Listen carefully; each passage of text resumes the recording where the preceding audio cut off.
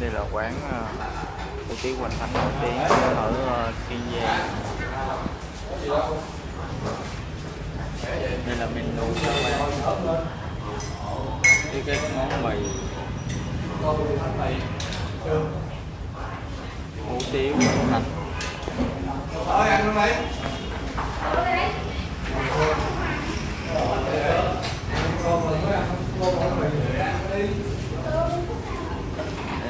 Đây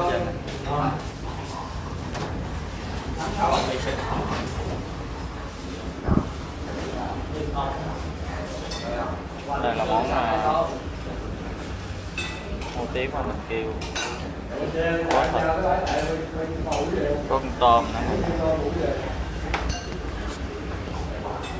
cho kênh Ghiền Mì Gõ Để không bỏ lỡ này video hấp dẫn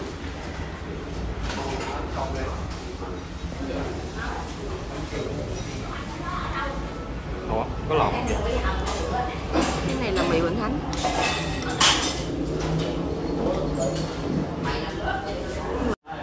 Sắc nè có con.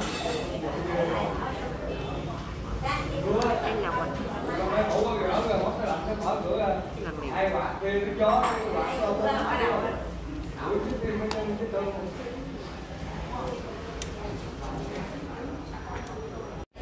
Xay mì ở đây giá tiền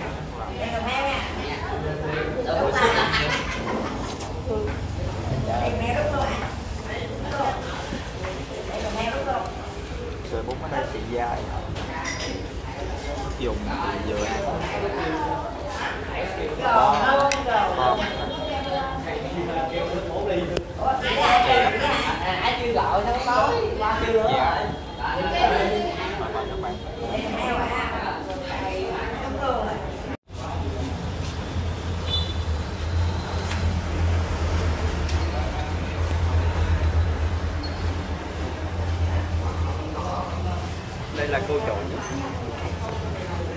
sao mình lại ngồi đây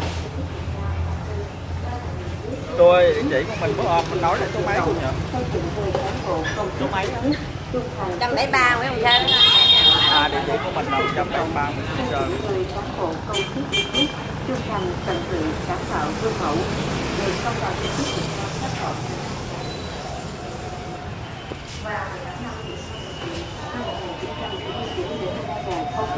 triển ở đây là một trong cái quán ờ, uh, nguyên cái mặt trung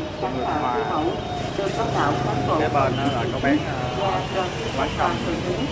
Từ đó Bữa góp phần nâng bữa cao lượng. tổ chính trị tinh thần thi đua yêu nước cũng rất là ý ngon. Thức rèn bây luyện phẩm chất đạo đức năng lực công tác tinh thần trách nhiệm trong công tác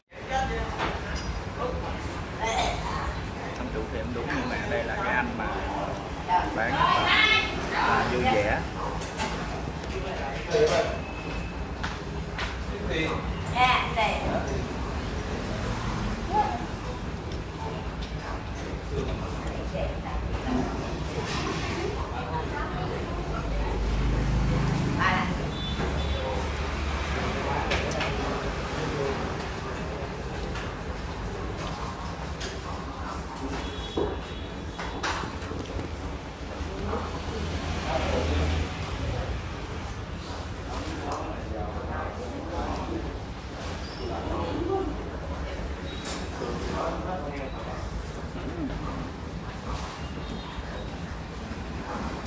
dạ nào.